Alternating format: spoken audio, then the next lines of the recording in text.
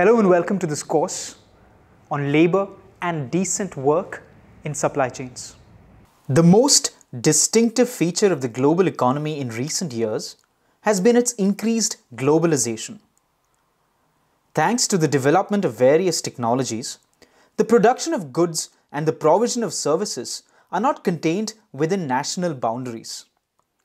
Along with goods and capital that move easily across international borders, there has also been a great increase in the migration of people.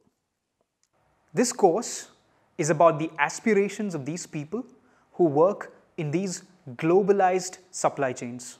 Here you will learn about the instruments of law, including some that are often understood to be part of something called soft law, that will give them access to productive and suitably remunerated work, safety at the workplace, social protection for their families, better prospects for personal development and social integration, the freedom for individual workers to set out their claims, to organize, and to participate in decisions that affect their lives, and the equality of opportunity and treatment for all. To start this course, we must get a good understanding of the role that law plays in decent work. One of the ways we can do this is through the lens of history. Let us take a look at some of the events and shifts that happened at the turn of the 19th century. The Industrial Revolution, through the introduction of machines, transformed the processes of production. When production shifted from small scale production studios to large scale factories, it also transformed our relationship with work. For many years, employment relationships were governed only by the contract between the employer and the employee. Politically, the attitude of laissez faire, which meant that the state would not intervene in the free will of the parties to enter into contracts, was dominant. The theory was that parties, that is, the employer and the employee in the case of an employment relationship, decided freely whether or not to conclude a contract, the terms of that contract, and also when to terminate that contract. The first major shift happened in relation to the employment of children.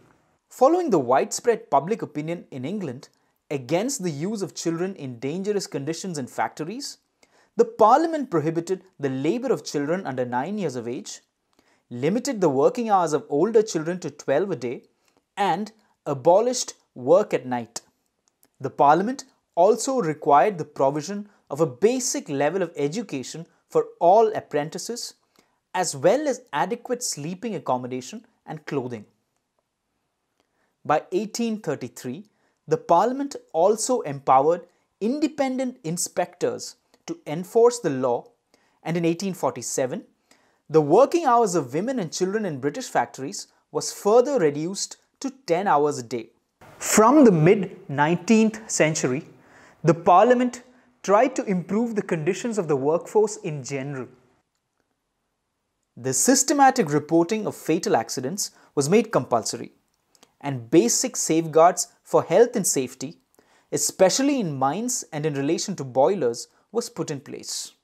By the end of the century, nearly all European nations had a comprehensive set of regulations that affected work in nearly all industries. In India, however, there was an additional factor that led to the growth of law that provided for the welfare of workers, and that was British colonialism.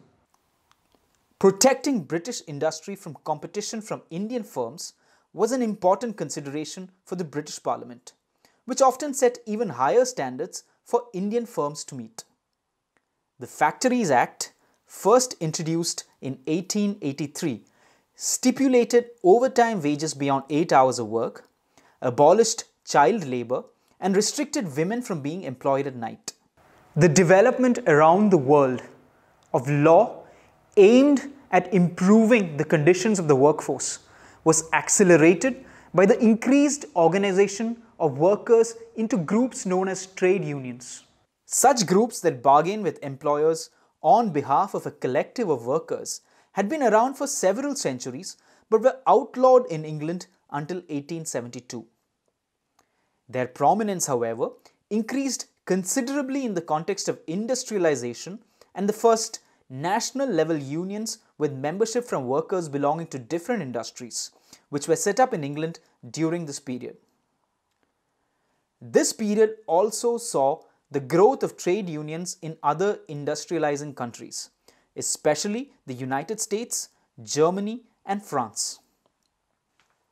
The trade union movement in India started with the formation of mill workers' unions towards the end of the 19th century in Bombay and other associations soon after.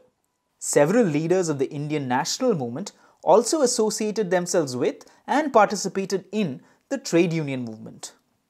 After the First World War and the Russian Revolution, the social and political consequences of industrialization and the transformation of societies and economies around the world became a key political issue. The demands from workers for decent wages and dignity became more urgent.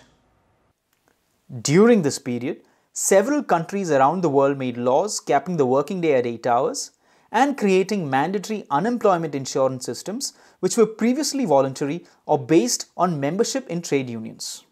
Another important development happened in the sphere of international law. The International Labour Organization was established soon after the First World War with membership from national governments, employers, and workers' associations. Among its main achievements was the adoption of international standards called Conventions and Recommendations for implementation in member states. These conventions and recommendations contain guidelines on child labour, protection of women workers, hours of work, rest and holidays with pay, labour inspection, vocational guidance and training, social security protection, workers' housing, occupational health and safety, conditions of work at sea, and protection of migrant workers. They also cover questions of basic human rights, among them freedom of association, collective bargaining, the abolition of forced labour, and the elimination of discrimination in employment. So far in this video, we have taken a quick look at the history between the Industrial Revolution and the Second World War of the role that law played in decent work. At the beginning of this period, the more prevalent view was that it was most important to not restrict the will of the employers and employees to enter into and to leave employment contracts. Through this period, however, there was greater recognition that these parties did not approach the negotiation of these contracts from evenly matched positions and that people's working lives cannot be governed by market forces alone. The fundamental motivation behind the emergence in law of labor standards and the protection of collective bargaining through trade unions was to protect the weaker party in the labor market during negotiations for salary and working conditions. The body of law that is known today as labor law or sometimes as industrial law retains some of these motives. Before we proceed further, let us first try to understand what labor law seeks to do. Firstly, it seeks to redress the imbalance in negotiating positions and make it less unequal by protecting the ability of employees to organize and bargain collectively to settle salaries and working conditions and to resolve disputes.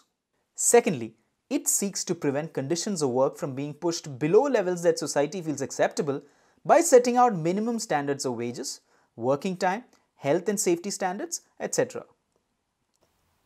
While work continues to be governed by employment contracts between employers and employees and the rules instituted by employers and made applicable to different workplaces, the major sources of labor standards are often collective agreements between employers and trade unions, statutes made by legislatures and by administrative bodies, national constitutions, and international standards set out in various international instruments such as ILO conventions.